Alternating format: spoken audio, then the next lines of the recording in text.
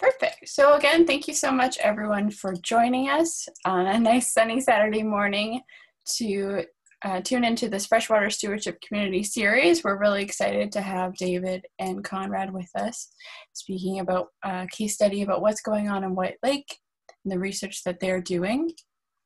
So for uh, just the beginning, we're going to go through kind of a quick agenda of what we're going to be covering this morning and also kind of a bit about Watersheds Canada if uh, some of you haven't heard of us before. And if you have tuned in, I have changed the content a bit, so we'll be learning a bit different about Watersheds Canada this morning. Um, so like I said, we're going to be able to do some introductions today. Then Conrad and Dave will be doing their presentation. We'll have some time at the end for a live Q&A. So you'll be able to turn on your microphones or type in the chat any questions that you have for them. And I know some of you did submit questions ahead of time in your registration form, and so we can try to get to those as well.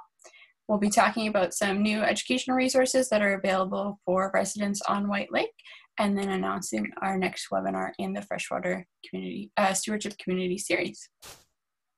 So like I said, the three people that are going to be with you this morning are Conrad and David, and they're both from the White Lake Property Owners Association and the White Lake Preservation Project. So if you have any questions for them about White Lake or the work that they're doing, uh, like I said, we'll have time at the end. But if you have any kind of tech problems or any questions about any of the resources that are shared this morning, you can privately message me or you can email me if you think about it after the call, um, and I can try and help you out. So, for any of you that don't know about Watersheds Canada, we are a national nonprofit organization based out of Perth, Ontario. So, it's about an hour away from Ottawa. We have kind of three flagship programs that we run each year and we've been able to run successfully thanks to a lot of you through all of this COVID uh, measures going on. So the first is our Love Your Lake program, which we were able to run successfully last year on Wollaston Lake and Kashwakamak Lake.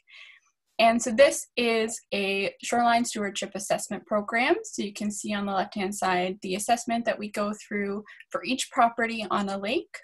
And we're really trying to gauge different aspects of that property and ways that the property owner might be able to improve and make it more environmentally friendly. So uh, some of the things that Conrad and Dave are going to be talking about are actually covered in that Love Your Lake program, like invasive species and also water quality. And so we're giving each property owner their own customized report at the end of those assessments, and they're able to take voluntary actions on their property to benefit their lake health. And, you know, we're aiming to do it again this summer, and we're very thankful to all of you that have helped make it safe um, with following all the COVID restrictions. And so we're really excited to ideally be running that again this summer. Uh, the next one, which many of you may have tuned into last month, was our uh, launch of our freshwater fish toolkit. So we are able to offer free protocols and video guides to community members looking to enhance their local fish habitat. And we also have a number of resources on our YouTube page showing before and after so you can see how different community groups went about enhancing their fish habitat and the benefit to the lake. So we have three main projects that we run. The first being the in-water fish habitat enhancement. So you can see all those brush bundles that the uh, guys are building. We also do walleye bed enhancement, which you can see in the bottom right. And then the last one is Coldwater Creek enhancement, where we're planting uh, potted stock along shorelines to bring shade back to the water. And also our natural edge program. So this is our shoreline renaturalization program. So we're using native plant species to restore shorelines, help protect against uh, water quality from uh, on-land erosion or runoff, and then also provide habitat and food sources for pollinators and wildlife species. And we are just about to launch our spring planting season, again, following all protocols. But if any of you are interested in getting a summer site visit for our starter kits, you can visit the naturaledge.watersheds.ca and Chloe from our Natural Edge program will get in touch with you. So some of the new things, um, some of you might have just gotten our uh, April newsletter. And we're launching some new education programming this summer, which we're very excited about trying to help people get out in nature and kind of meeting new native species around their area. And we're going to be doing that through a backpack lending program.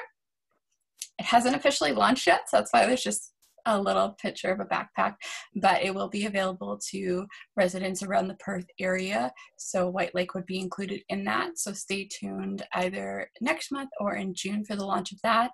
Um, we'll be launching that free program for you to rent out backpacks with different field equipment, lesson plans, all um, for your family to get outside and safely in your bubble.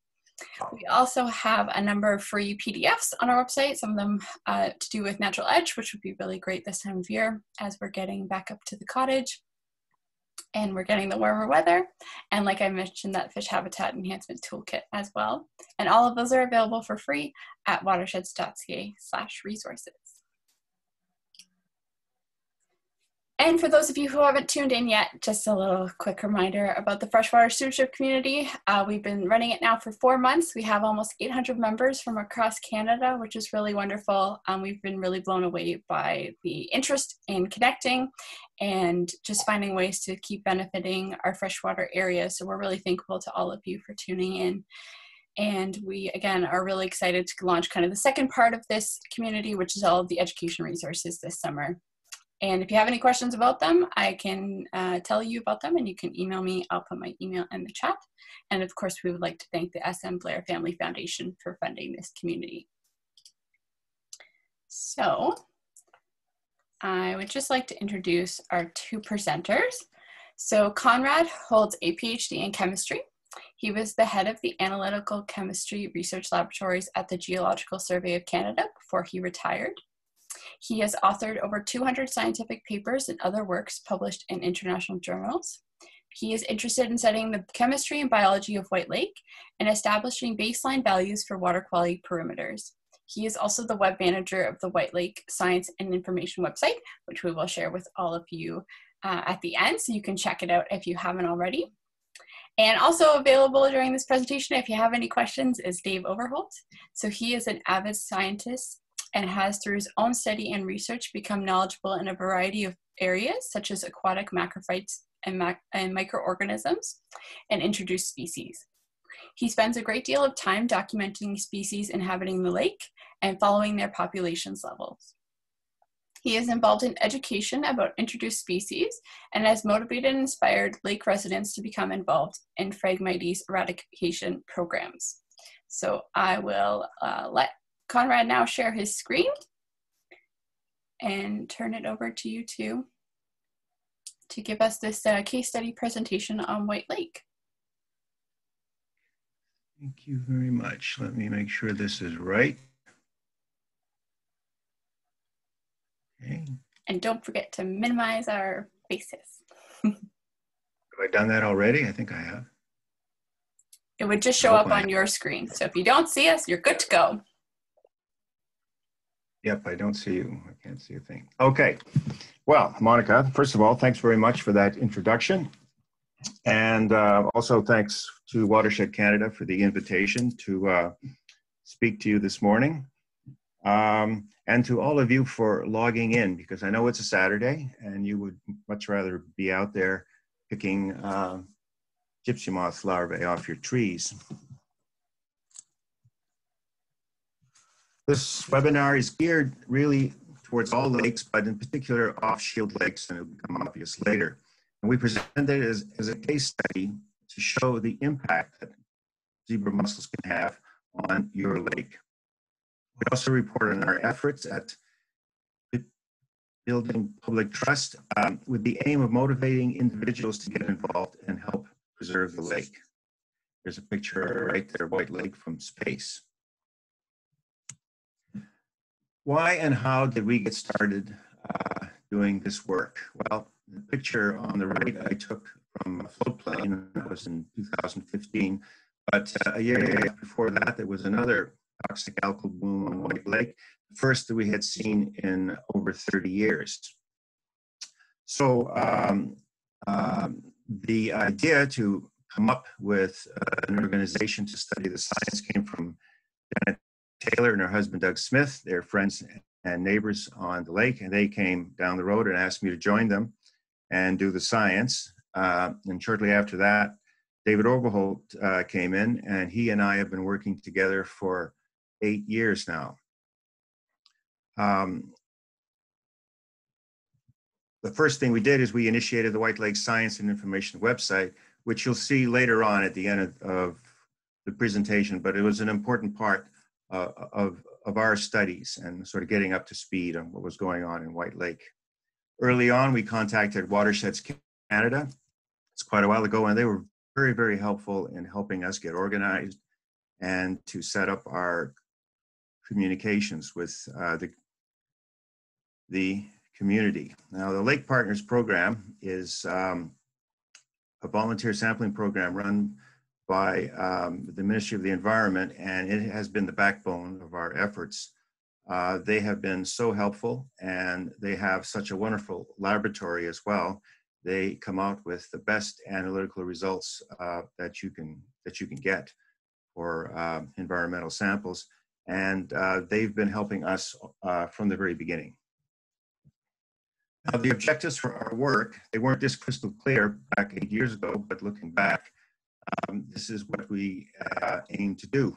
Uh, we want to study the lake, we want to document it, and we want to communicate this information to folks around the lake and anyone who uses the lake. But also, we want this information to go to the scientific community at large. So we have contacts throughout the provincial government and some federal governments as well. Um, and our aim is to explain to lake users the condition of the lake right now, how the lake is changing, because it is, why the lake is changing, and we get that from the literature, and what they can do to help. So we, uh, at the very beginning, we did have the intention to create a permanent record uh, um, that uh, will span at least a 10 year period. So uh, both Dave and I are in our 70s, so we're, we're hoping to uh, maybe get 15 in. And number five, uh, probably should be number one. We, uh, we, we, uh, we wanted to do this so we can have some fun, and we have had a lot of fun doing it. Now, there are about five white lakes, at least five white lakes in the province of Ontario. So at the risk of losing 80% of my audience here, I'll tell you that the white lake that I'm talking about is right here in eastern Ontario, and it's located about one hour from Ottawa. That means over the years, because Ottawa is a big city, over the years, it's going to see more and more use, for sure. So it's located near Arnprior and Calabogie. And Calabogie is a place where uh, there's a lake there and there's a ski hill and other amenities. So uh, it's going to attract a lot of people to come into this region, I think, in coming years. So let's start talking a little bit about White Lake. Uh, White Lake is a headwaters lake. That means it's not downstream from anything. Uh, and that's important, and that's a lucky throw for us because it means whatever is in the lake, we put there ourselves and we don't have to complain to anyone else. Uh, it's a wetland lake because it's uh, partially flooded in that there's um, an artificial dam at the only outlet of the lake at, um, at the north end of the lake, which is uh, right up here. And, um, and um, uh, there are many, many uh, marshes and wetlands along the shoreline. So it's a very, very rich environment. Um, the watershed, uh, which is about 10 times the uh, size of the lake itself, is um, primarily undeveloped. It's not pristine, but it's primarily undeveloped, so we don't have to worry too much uh, about um, uh, pollution reaching the lake from foreign sources. Uh, just a word about geology. It's kind of complicated here. Uh, on the west side of the lake, uh, this is Precambrian shield, uh, but most of the rest of the rocks around the lake are calcareous, as are the rocks underneath the lake. So that's the, that's the geological setting for White Lake. And here are some pieces of basic information. Um, the thing that is most uh, important here is down here, the depth of the lake. The average depth of the lake is only 3.1 meters. So it's very, very shallow. The maximum depth is, uh, is 9.1 meters. And that area is located around here. The top, the northern end of the lake, this whole part of the lake up here, uh, uh, is uh, very, very shallow, with a good part of it being less than two meters deep. The flushing rate is less than one volume, one lake volume per year, which is relatively low, which means a lot of, of the materials, uh, uh, phosphates, nutrients, etc., that reach the lake uh, end up staying in the lake and becoming part of the sediment record. Um, the number of cottages and houses has really increased tremendously over the years. Back in 1985, there were a total of about 1,000 commercial and residential sites. And by 2018, this had risen by 50%. There are nine resorts on the lake and one marina. The number of permanent homes you can see uh, has quadrupled. So and that's a trend that continues. Uh, more and more of the cottages are being converted to uh, year round uh, or being expanded. And so there is more and more uh, use of the lake. Um, the person who did this work in 1985 is J.P. Ferris, um, and uh, he was working for the Ministry of Natural Resources. And uh, he took account of the morphology and the flushing rate, et cetera, of the lake and he said even back then that the lake is vulnerable to water quality changes. So let's start with the chemistry. What kind of lake is White Lake? So most lakes uh, in Ontario are classified as either on-shield or off-shield lakes. So it's important to know this, uh, lake that you've got. Um, in terms of uh, the chemical and physical characteristics, the pH of an on-shield lake is usually neutral or acid, and an off-shield lake is alkaline. White Lake is alkaline. The pH ranges from about 8 to 8.3, which is pretty high. Calcium is very, very important. In uh, on-shield lakes, it's usually quite low. In fact, they're having a problem now with a lot of lakes where the calcium is too low. Uh, off-shield lakes, it's relatively high. In White Lake, the calcium concentrations are about 32 parts per million, or so it varies a little bit from year to year depending on the weather. And its ability to host zebra mussels is one characteristic. On-shield lakes do not have the right pH or the calcium concentrations required to, um, to, um, to allow the zebra mussels to prosper. Alkaline lakes do. White Lake most certainly has them. The White Lake is an off-shield lake. So why is that important to us? Here's a slide from um, Anna DeSellas, and she's the current director of the Lake Partner Program. And uh, they will be the first to tell you that uh, with an off with an on-shield lake, uh, at the beginning of the year in May, you get the highest concentration of total phosphorus. And it goes down somewhat, but stays pretty flat most of the year. Uh, when you go to an off-shield lake on the bottom here, the phosphorus concentrations at the beginning of the year in May are at its lowest, and they climb from there. And the implication there is that if you're on an off-shield lake, you have to do monthly sampling. That's the only way you can find out what the maximum uh, phosphorus concentration is going to be. And so we have been doing monthly sampling um, at a number of sites all around the lake. You can see White Lake here. There's, um, um, there's nine sites here, and uh, the Lake Partner Program supports us for seven of those sites, uh, spanning uh, the entire area of the lake. So on a monthly basis, we're out there, Dave and I, taking samples for phosphorus, calcium, and chloride, and those are going to the Lake Partner Program. And we also, every two weeks, so we go out every two weeks, twice a month, and we do the Secchi depth the temperature, and plankton sampling as well. So we're keeping a record of what's going on with the plankton population over time. Conrad, I'm just going to try something um, to see if it will help. So I've just, I've turned off your video, but not your presentation.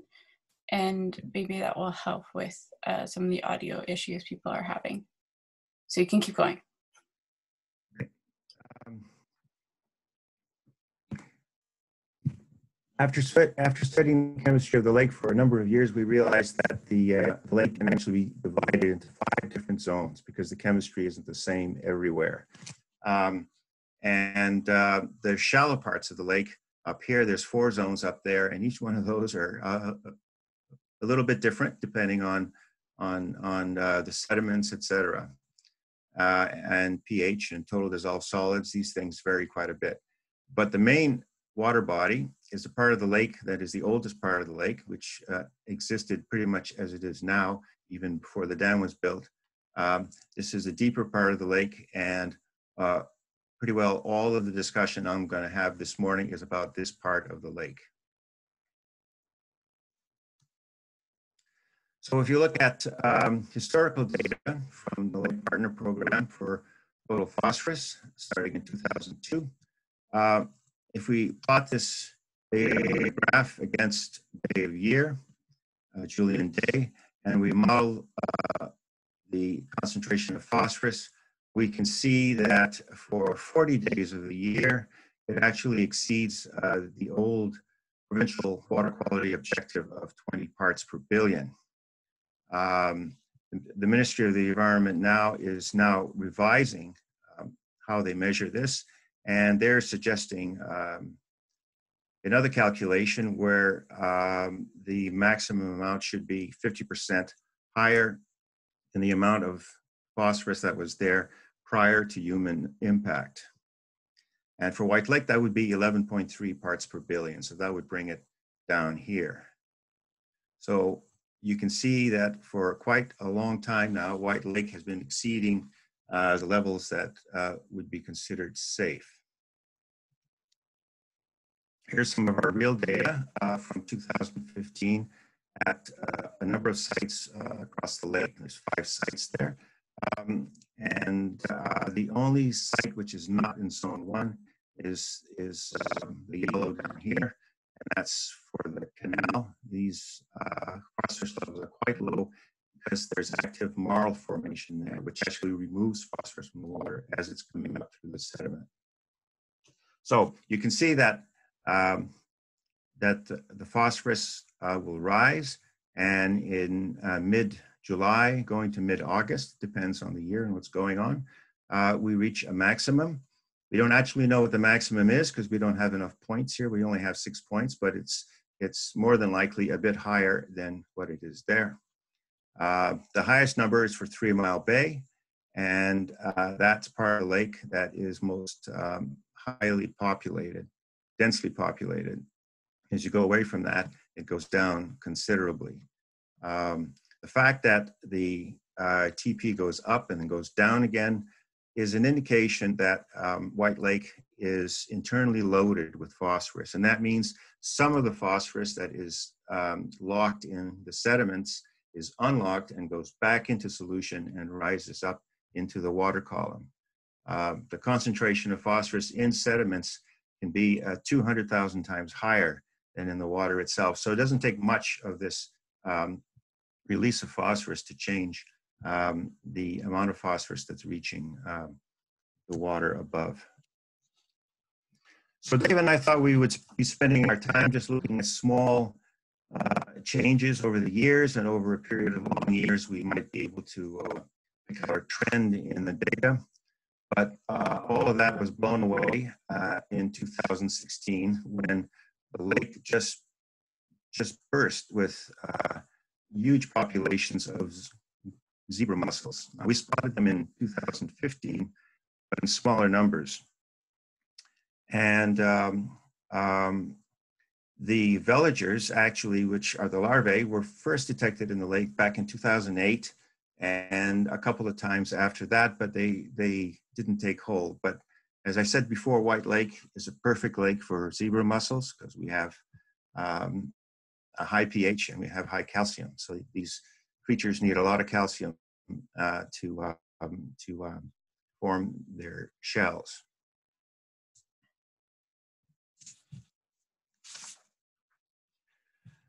So this is a graph of uh, maximum total phosphorus. That's the peak that you get for a year uh, for three sites uh, for years starting in 2014.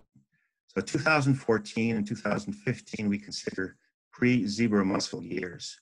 You can see that in the span of a single year, the total phosphorus just crashes right down uh, to half or less than half. And what we've seen in the last five years is that it's recovered a little bit, but not very much. So it's still very, very quite low. When we look at the Secchi depth, um, water clarity, uh, just what you would expect would happen. Uh, it, starting in 2015, we were getting Secchi depths around two or three meters. And as soon as the zebra mussels took hold and started to filter all of the particulates out of the water, the Secchi depth rose uh, all the way up to five. Now, this particular graph is for a single day. It's July 15. We go out and we take a Secchi depth at these locations on that day, and we just use that as a measure, just to so we can gauge the change over time. You can see that, that the Secchi depth is is uh, is decreasing a little bit, but not very much. It's still quite quite high.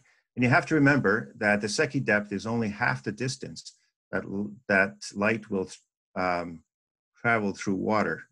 So if you have a Secchi depth of five meters, it means that the light from the sun will make it down to 10 meters. And uh, White Lake being only nine meters deep, this means that for most of the year, the entire lake bottom is illuminated by sunlight. There's no place to hide. So these are some photographs that Dave Overholt took uh, off of Hardwood Island, north uh, of Hardwood Island, near one of our sampling sites. And um, a few years before that, they were totally barren rock. And now you can see that they're totally encrusted with zebra mussels. So here's some scary facts about zebra mussels. Each mussel, mussel filters out one liter of water per day. Now, we did a calculation, a back of the envelope cal calculation, and, along with some measurements, and and we believe that the zebra mussels in White Lake are able to filter the entire volume of the lake in about two months. Mussel density can exceed uh, 500,000 individuals per square meter. So you can just imagine what that translates to. Uh, you also have to remember that the zebra mussels are fixing themselves to aquatic plants. So they're using that as substrate as well. And just so you never run out of them, each mussel can produce up to 50,000 surviving offspring per year. So there are times of year where the water is, is just filled with their um, larvae. Most of them don't find a good spot to sit and die. I don't want to go through this um, chart here uh, word by word, but on the left, we have um, what the published literature predicts will happen to a lake like ours that's uh, infested with zebra mussels. And on the right, the, uh, the observations that we've made to go along with that. Uh, zebra mussels have been in Canada for close to 50 years. And in the world literature, there are literally tens of thousands of um, scientific papers uh, um, on them and what they do. Um, and um, the point that I'm trying to make is that we're not inventing anything. We're not introducing any new concept whatsoever. All of what we see has been reported in abundance in the scientific literature. We're just trying to bring the information back um, to our listeners. So one of the side effects of, of um, zebra mussels is algal blooms. Uh, and we've been getting those now for several years, and it comes in two waves. Um, in springtime, we get this kind of filamentous green algae uh, that pops up. This one uh, is from June of last year. Uh, the total phosphorus in the lake water at that time was 10.3 parts per billion. In the fall, we've been getting microcystis blue-green algal blooms. Sometimes they're very serious, sometimes they're not so serious, but you can see that in the water column, it's filled with microcystis. This one is in mid-September. We've been seeing them all the way to almost the end of October. And here we have the total phosphorus concentration is also around 10 parts per billion. So why are we getting these algal blooms at such low total phosphorus concentrations? Because everybody thinks, well, you know, if you can get phosphorus down below 20 or whatever, um, your lake is just great. And uh, unfortunately, uh, when you have zebra mussels, when you win, you lose. So part of the answer to this question is uh, exactly what total phosphorus is. So this particular parameter, total phosphorus, it's a, it's a bit of, of, a misnomer. It's not total phosphorus at all, but it's a it's a parameter which is uh, what we call operationally defined because it involves uh, a mechanical operation which defines exactly what it is. So that so we are asked by uh, the Lake Partners Program and also the scientific community does this at large to uh, filter all of our samples through an 80 micron filter and then do the analysis. So that means any particles or creatures larger than 80 microns don't make it into the sample. That stays in the lake. Um,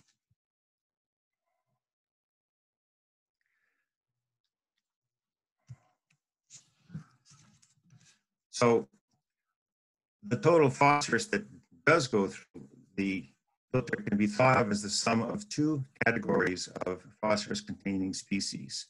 Now there are many, many, many different um, chemical compounds and detritus and living things that, that contain phosphorus that become part of this sample. but you can break it up into, into two parts if you like. Uh, on the left, here you can have in the blue square plankton particles containing phosphorus because zebra mussels are filter feeders and they can filter out up to 90% of the particles suspended in the lake down to a size of a few microns. Uh, the other part of the total phosphorus is the dissolved phosphorus from, shore, from septic fields and shoreline runoff or release from the sediments, and that phosphorus uh, in uh, the green square here is a bit like sugar in water. That's totally in solution. So the zebra mussels take this in and they spit it out. They don't absorb any of it.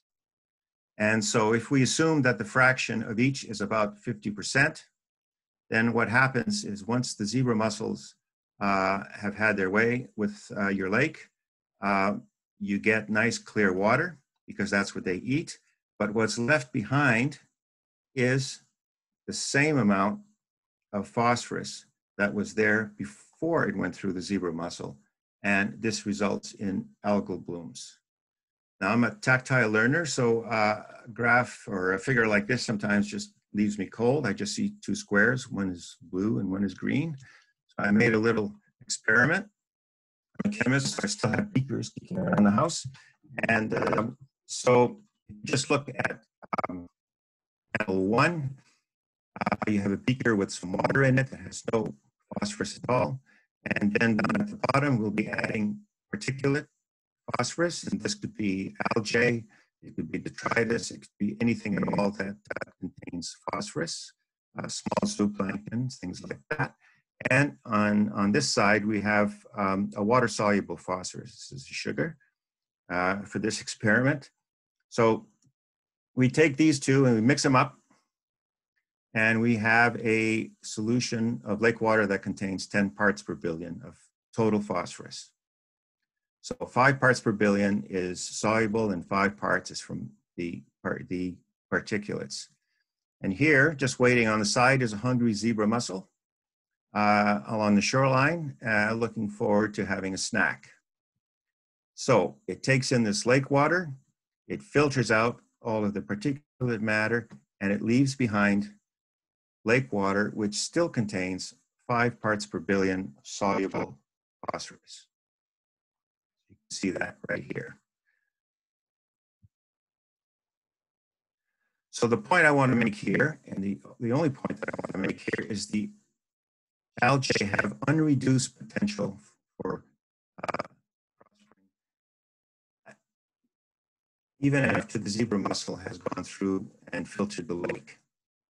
So that means that the um, lake-wide uh, algal blooms are still an issue, even though you have very, very low uh, phosphorus concentrations. So with the filtering action of the mussels, you have clearer water, low phosphorus values, and unreduced potential for algal blooms. And that's why we see what we see in these two graphs that we looked at So where's the phosphorus going? So zebra mussels are located near the shoreline, the middle of the lake. Uh, uh, the, the lake floor is covered in a very, very fine mud, and zebra mussels can't live there. So they uh, live wherever they can, and that's along the shoreline. So this is Three Mile Bay. This is part of the lake, uh, the southern end of the lake, where most people um, where there are the highest number of cottages. So White Lake is well mixed, uh, so phosphorus is essentially transferred from the open water and concentrated uh, near the shoreline sediments. We also have inputs coming in from the landslide, uh, from the landslide, from the other invasive species, and that'd be us. So uh, the Ministry of the Environment tells us that 100% of the phosphorus coming from septic systems within 300 meters of the lake will end up in the lake at some point. Other nutrients as well will follow that at the same time. So water, uh, rain, runoff from disturbed or unnatural shorelines transports nutrients and pollutants to the lake at a higher rate uh, than natural shorelines do. And we heard about that in some of the earlier presentations on this series. So the net result of these two sources of phosphorus is that we have created a new ribbon of life around the lake, but not where we'd like to see it and uh, not made up of what we'd like to have it. Um, and so what we have, the net effect is that we have phosphorus from the body of the lake being transferred to the near shoreline zone rather than at some point precipitating and falling down into the basin of the lake. And that's why we are having these algal blooms in the spring and fall. So here's a map showing uh, last June, those filamentous green algal blooms um, that uh, we um, surveyed. And the point I want to make on the left is that the places where these algal blooms were the worst, and, and it was pretty horrible in some places, was where the shoreline was most disturbed. There were a couple of new lots on the lake where uh, the year before the owners had completely cleared the trees, clear cut the trees, and then and then built a house, and then they brought in soil, and you could almost walk across the water in front of their place.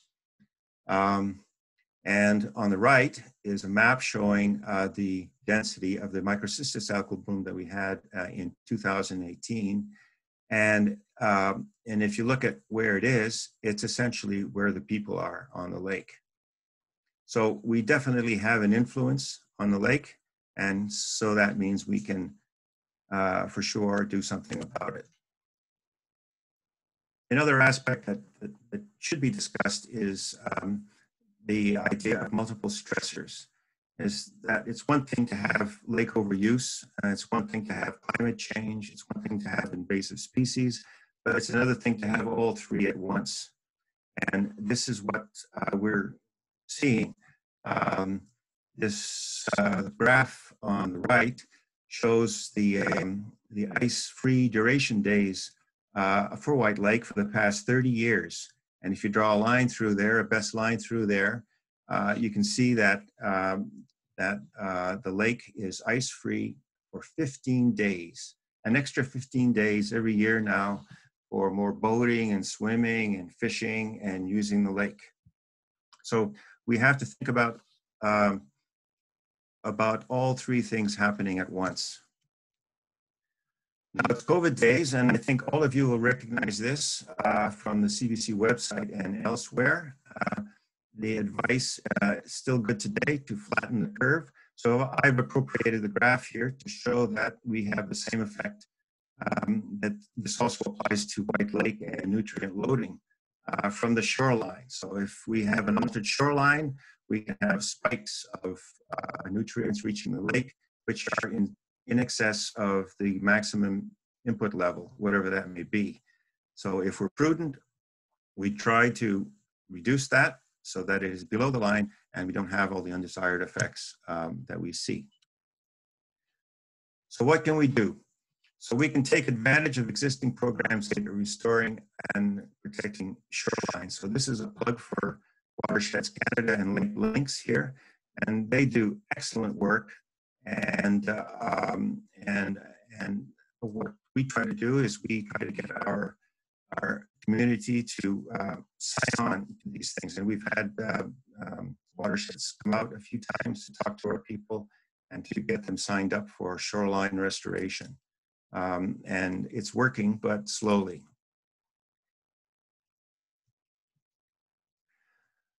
Uh, now, what we have done, this is the front page. This is the main page of the White Lake Science and Information website that we have.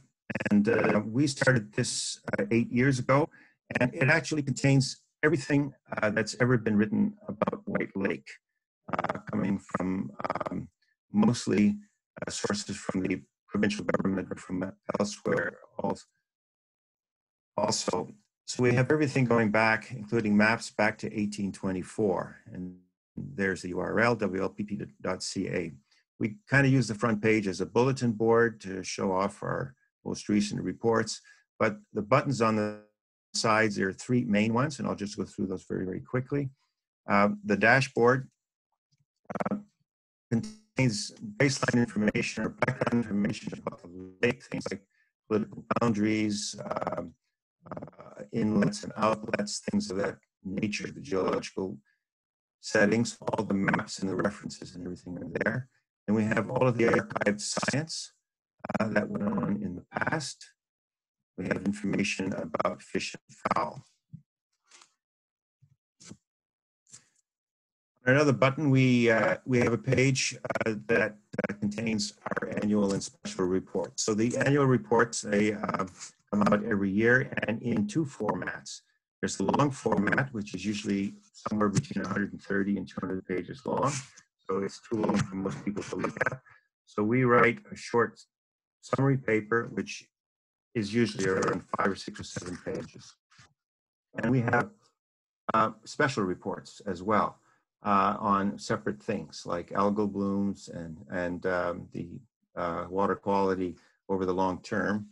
Um, so we put out these special reports whenever we can.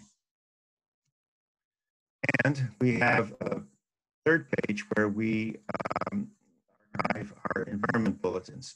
We've been doing this for a couple of years now, and this has been, I think, our most popular um, outreach. Um, we send out a bulletin which is one or two pages long uh, once a month or a little bit more often depending and we try to time it with something that's happening on the lake at the moment so uh, people might be out in the docks and saying oh look at all the lake foam that we have here i wonder what that is i wonder if that's pollution then we make sure that some information goes out to address that and we also have um, little bulletins on uh, sort of simple science, water and ice, and things of that nature. But uh, we've gotten really, really good feedback from these. We do other work as well. Um, the top part here, this section of things that we do every year as a matter of routine. Bottom, I won't go through them, but we um, we do a lot of special studies uh, to further characterize the lake. Um, the last one we did and it's by we, I mean David Overholt, uh, is uh, to look at the changes of aquatic plants in the lake over a 44 year period. Um, in 1977, someone called L.J. Bond, he was an ecologist uh, um, uh, working for the Ministry of Natural Resources. And he went through about 100 different sites on the lake and noted uh, the, the aquatic plants and their density uh, at those sites. Uh, over the last year and a half, David has been doing the same. He went to the exact same sites plus about another 100 more and has produced this fantastic report, which is about 150 pages long and also includes sort of a guide to uh, common plants uh, uh, in the lake. So if you have questions about that, you can ask David. Uh, it's an excellent report which has not been released yet. Um, so I'm going to end with our greatest challenges. Apathy is one. Uh, I think there's two kinds of apathy. There's always a fraction of the population that doesn't get it. They, they like nature, they love nature, but when they use it, they consume it. You know, there's less of it there when they leave. Um, and those are some of the hardest people to get through to, but we're trying. The other part of apathy, and I have some sympathy for that, is people who want to get to the cottage just to get away from all the garbage that's going on in town, and they just want to go to the lake and relax, and they don't want to step into another arena of conflict about what needs to be done for the lake. So I can understand that, but those people have to realize that if they do that, they have to be happy with whatever the lake gives them in return. Um, one of our biggest problems is that White Lake is situated in four. It's divided into four separate municipalities in two counties. You can hardly ask for a more complicated situation.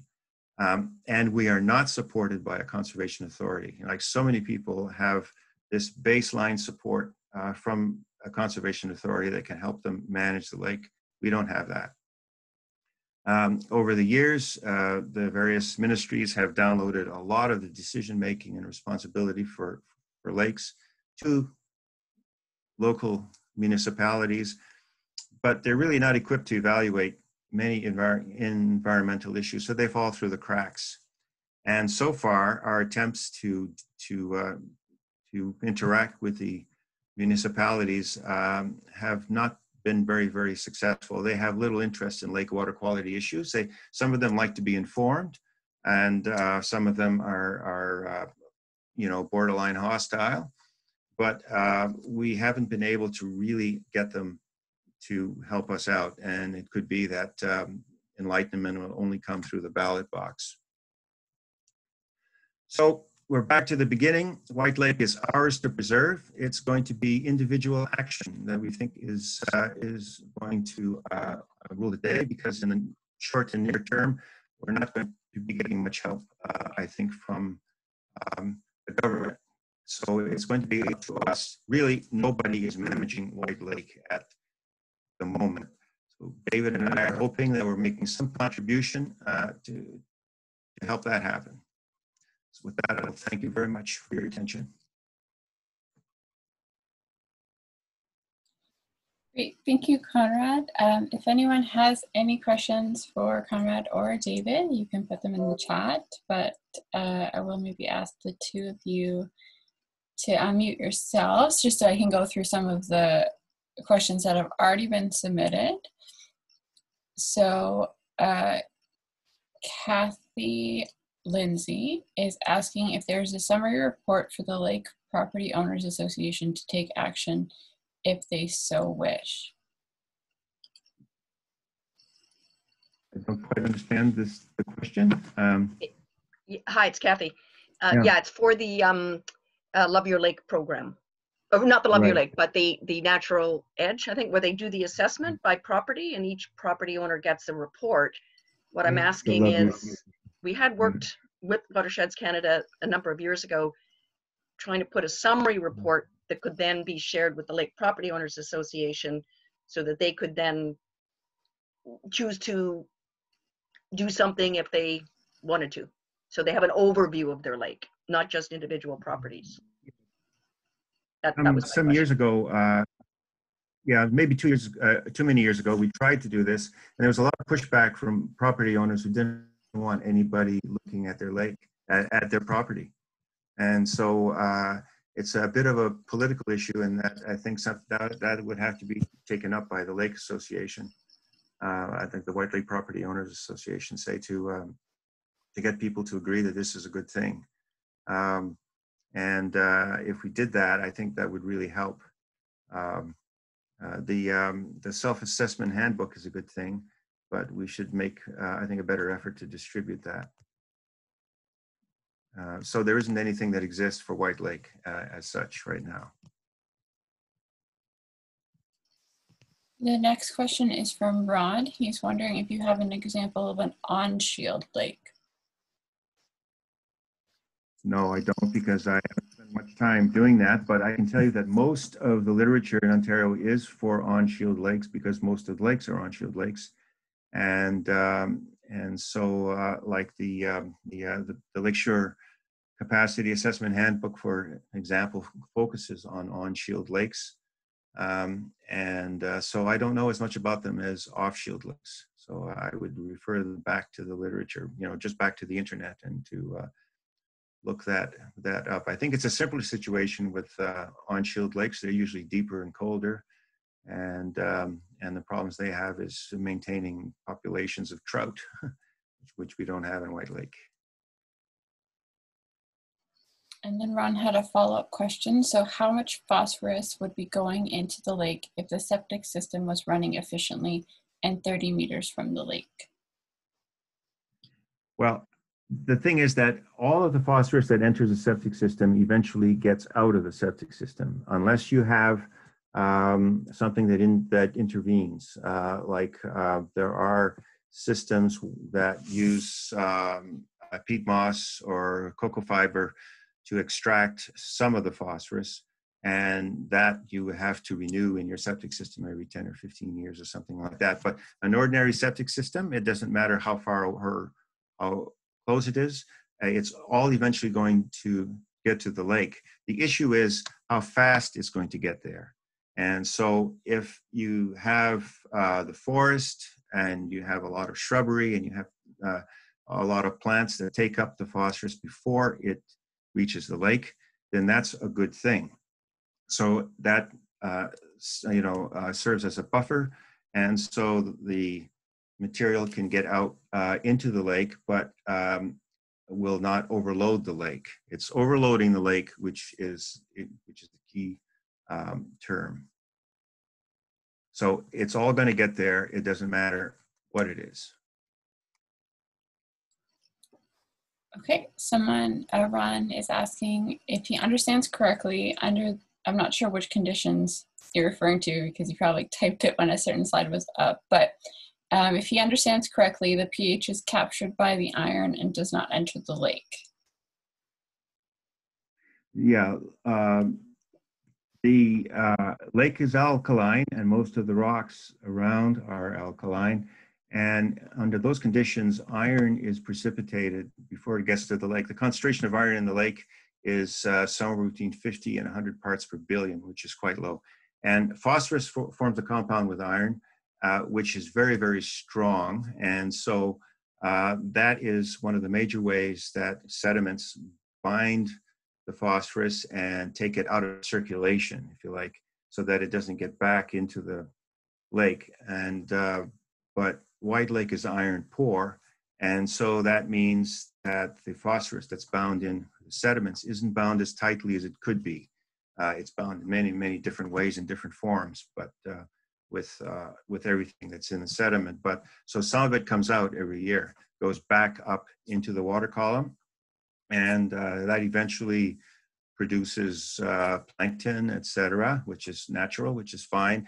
And in most lakes, uh, uh, we'll say without zebra mussels, eventually at the end of the year, it's either flushed out or uh, once these things die, they just fall to the sediment and become, you know, return to the sediment, as it were.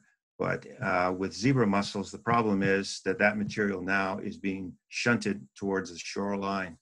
And, uh, and so it's another source of phosphorus that is going to um, affect um, um, these um, areas just near the end of your dock, essentially, all the way around the lake.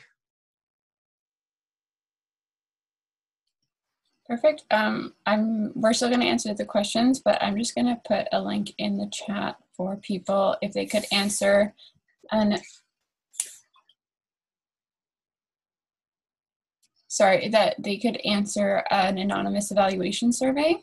So I know there were some tech issues. So if you can talk about the content of the presentation, um, that would be helpful just so we can uh, see what you're looking for and if this presentation met that. Um, but we'll keep going with the questions. So Daryl uh, gave you some applause in the chat. So thank you, Daryl. Um, Carrie is saying that she attended the Water Rangers presentation. So she's been trying to understand the benefit of having both Water Rangers and the Lake Partner Program. Um, do you know if they are cooperative and what is the benefit of having Water Rangers if you already have the Lake Partner Program in place? Well, water rangers are, uh, um, yeah, they're they're not mutually exclusive. Uh, water rangers is a is a platform where where you can go and uh, and um, actually um, um enter data for your lake, uh, site specific data uh, for your lake or water body, whatever. You can do that, and uh, it also has. They also have other programs uh, where um, they promote um, citizen science, for example, which is really, really important thing. Um, our future, really. Uh, and Watersheds Canada, well, Monica, you could speak for Watersheds Canada. It's uh, it takes action, concrete action to um, to help renew and restore shorelines and uh, so many other things. Um, new programs popping up all the time. I mean, I think we've t- touched on our different programs, and I definitely think they can all go together. Um, it's just that the data goes to two different places for Lake Partner Program and Water Rangers. But I know that Water Rangers is putting all of their data, I believe it's on DataStream now. So they are trying to centralize it so people can see mm-hmm. what's happening on a larger level from multiple mm-hmm. different reporting uh, programs. Mm-hmm. I believe they mm-hmm. just announced that not too long ago. Um, Ralph's question is, what are the cascading effects of algal blooms, like the bottom up effects? What are the cascading effects? Mm-hmm. Yeah, well, I mean, when you get algal blooms, um, I mean, the the ones that we get in the spring, the filamentous, that's that's a nuisance one, and there's no toxins involved in that. It just doesn't look good, and uh, they it it it looks bad, really bad on the surface for a few weeks, and then it kind of shrinks a, bit, but it's there most of the season underwater. Um, and uh, so um, one of the problems is that when all this material decomposes, it robs um, the the uh, the lake of oxygen, and so you can have asphyxia for things like snails and things like you know things like that that live in the lake. Um, and it also, if you have low oxygen, uh, it also promotes the release of phosphorus from sediments as well. Now, the ones that we have in the fall, the microcystis, uh, that's a lot more serious because they're potentially toxic. And if they are, people need to know about it. Uh, because uh, if your pet goes in the water and just has a drink, that could be enough to kill the dog uh, the same day. So, uh, you know, uh, you have to worry about your children as well. But most people won't jump into a lake covered in slime, but it's uh, it's it's a bad sign and it has the same um, um, side effect of eating up oxygen once once the um, once the algal bloom dies. So it's uh, it's not good news to have algal blooms.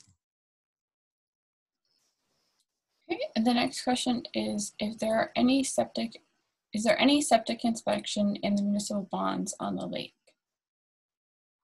No, I don't think so. Uh, um, I'm sure Lanark Highlands doesn't. We don't have any um, uh, sort of mandated uh, septic inspections, so they're done on a voluntary basis. I don't think the other townships have either. All right. Um, Ron is wondering if there's any tips on how to influence cottagers to participate in the Love Your Lake. Um, I can maybe answer that one. Yeah. Yep. So it's uh, really important to have the education up front and have the ideally the lake group or the cottagers association on board and have that education up front before people are seeing us out on the boat on their lake. And that way we can really address any of their concerns. So like conrad said one of them is privacy. So we're really upfront about what the information is being used for how it's not going to the municipality, which a lot of people have concerns about that it can be used against them, photos from the past, and then the changes that happen on their property over the next few years. And so it's really just for their benefit.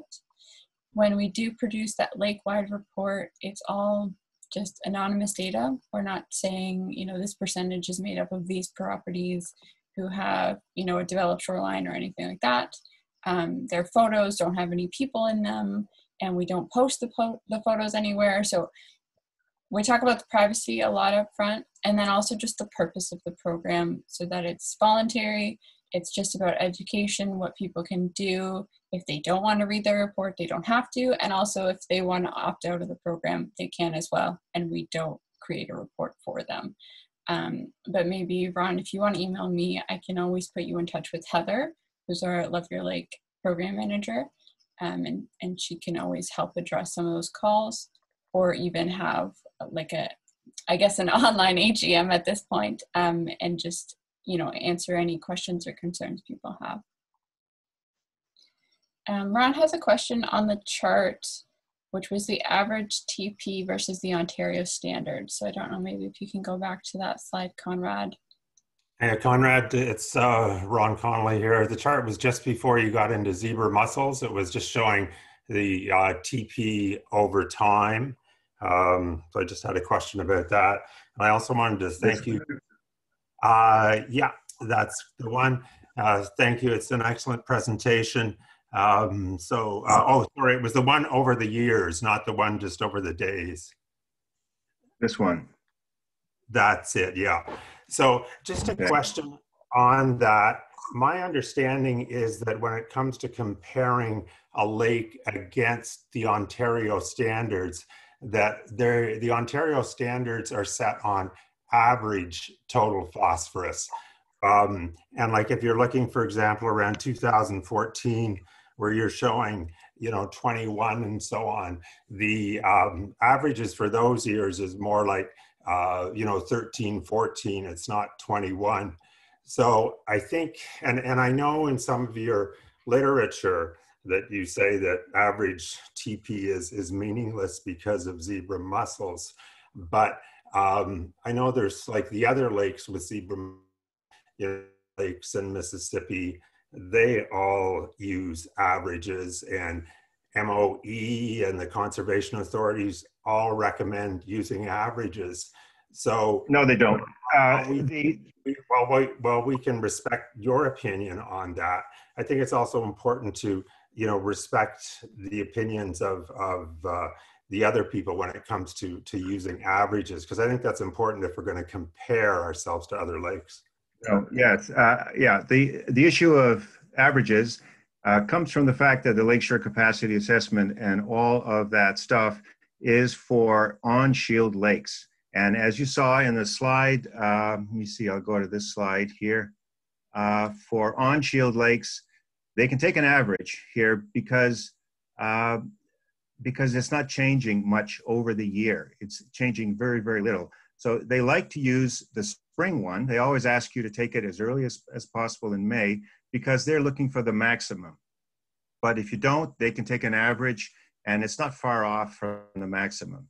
In the case of, of, of a lake like White Lake, it is not the same at all because we get the minimum at the beginning of the year, not the maximum. The water quality objective is for on-shield lakes and uh, the MOE, if you talk to the scientists there, they'll all tell you that that is way too high and it doesn't make any sense. And it's under review. And it's under review uh, to uh, be revised down to this other model that they have there. But then again, that's still for on-shield lakes. And if you read their literature on their websites, they talk about off-shield lakes. And there's even a sentence there saying on their to-do list, is to look at off-shield lakes um, um, um, uh, that contain zebra mussels. So there's, they don't pay any attention to it and they know it and that they want to change that, okay? And the other thing is uh, if you're a bacteria, if you're, um, if you're a zebra, uh, if uh, you're a microcystis, uh, they're not smart enough to calculate averages. So when the lake is has enough uh, nutrients in it and the right combinations, uh, and it is reaches a point where it's good for reproduction, it's going to happen. They're not going to sit there and say, it's perfect to reproduce now, but what was the average during the year? You know, and they'll say, oh, it's much lower. It's like being stopped for speeding, uh, Ron. You know, uh, you, you, you spend a half an hour sitting in your driveway with the car on idle at zero miles an hour, and then you go out on the Queensway and you speed and you get stopped.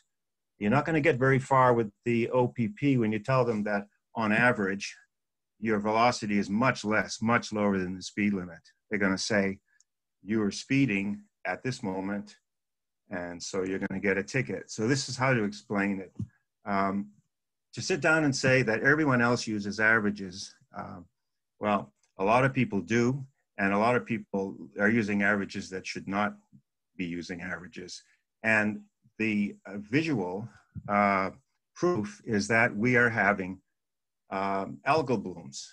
So and, and I do appreciate why, what you're saying, but the reason why you have a water quality objective is you want to be able to watch your lake so you can avoid reaching a point where you have algal blooms. If you're already having algal blooms, you don't have to worry about the water quality objective, whatever it is, you've already exceeded it. Well, That's although the, the, um, the Ministry of Environment does say you can't draw a straight line between algal blooms and, and like capacity because they have lakes in northern Ontario with no development that are still getting them. But but and just to finish up, and then I'll, I'll stop my questions. But uh, you know, groups like Mississippi Valley Conservation Authority, which have and Rideau Valley, which which you know are uh, off-shield lakes uh, for the most part. Um, they still do set criteria and they still do monitor themselves based on averages. So perhaps uh, I'm not saying who's right and, and who's wrong here, um, but there are a, tremendous number of organizations on off-shield lakes that use these averages. And so um, if we're out there with one approach, which is quite different than the others, I'm just saying I think it's it's worthwhile to also look at the opinions uh, and respond Ron, yeah, I mean, there's uh, there's a paper written by Bev Clark, who is the founder of the Lake Partners Program. You have a copy of it, and and it does say in it uh, that for off-shield lakes, that uh, average that taking an average is pointless. Uh, I mean, I don't have it just with me right now, but uh, uh, it's it's part of their literature, and uh, and it's you know uh, the websites where you read all this stuff. They uh, you have to be very very careful that you're not looking at on Shield Lake information. And like you say, there might be people like Mississippi Valley that use averages as a matter of convenience, and it I I think they shouldn't be. And and I think that uh, a lot of people at MOE don't think so as well. And in fact, uh, further, uh, a lot of limnologists don't think we should be using total phosphorus anyway, that we should only be looking at the um, soluble part, the active phosphorus. Uh, uh but it's much more hard, much harder to sample and to analyze for that. You really have to specialize equipment, so that's why it's not done. But, um, you know, um, so uh, White Lake uh, has uh, low phosphorus now because of zebra mussels, but we have algal blooms. So you know uh, you can calculate an average if you want, but you won't convince the algae not to bloom. So I, I think I'll maybe just uh, drop in here just because we are a bit over time. So I know some people you have submitted your questions and we haven't gotten to them. So I'm just going to drop my email in the chat and you can send me those and then I can pass them off to Dave and Conrad. I also want to just quickly let people know it seems to be kind of a, a nice tie in to some of the questions that were coming through, which is our next webinar in this series. So I will just quickly steal the sharing from Conrad. Um, so we have created a resource for this presentation, which is now available on our website, has many of the links that Conrad mentioned. And so that's a free download. You can use that uh, for yourself or to pass along to others who live on the lake. And then, like I said, the next presentation in our series is Life in the Weeds. So many of your questions were about how to know which plants are good and which ones are not, and you know, people who might be removing them on your lake community and how to talk to them. So I would really suggest um, attending the next webinar, which is on Wednesday, May 5th at 2 p.m. Eastern. We will, of course, be recording that and posting it so you can share it with anyone you think might be interested in afterwards. And that will be presented by, Dr. Latimore from Michigan State University. Um, some of you did ask me if she's going to be covering just American plants or if she'll also be talking about Canadian ones. And she did tell me that every plant that will be profiled is somewhere in Canada. So it might not necessarily be in Ontario, but um, we will have only Canadian species featured. And she'll be giving some kind of tips about how to talk to neighbors as well about protecting those aquatic environments. So I want to thank everyone again for tuning in uh, on this Saturday morning. If you could please answer that evaluation survey uh, for Conrad, Dave, and I, that would be wonderful. And you can look forward to an email coming to your inbox next week, which will have different resources that Conrad mentioned today, as well as the recording for this webinar and that education handout that I just shared on the last slide. And that's everything. So um, yes, just everyone, thank you for tuning in and have a great weekend. Please stay safe. Yep. And we'll talk Thanks to you guys soon. Okay. Bye.